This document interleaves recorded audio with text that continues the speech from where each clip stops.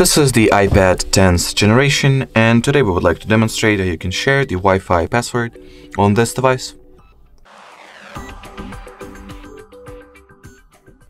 Well, so the first step that you need to take is to, well, somehow get to the Wi-Fi settings page. You can do that from the either control center by swiping downwards from the right part of your status bar and touch and holding at the network section, then touch and holding at the Wi-Fi, and then go into the Wi-Fi settings. Or you can also get there by simply launching the general settings app and well enter entering the Wi-Fi category over here.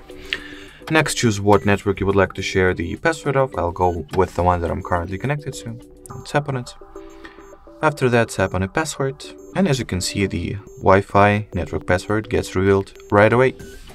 Alrighty, so that will be it for this video. Thank you so much for watching and bye bye.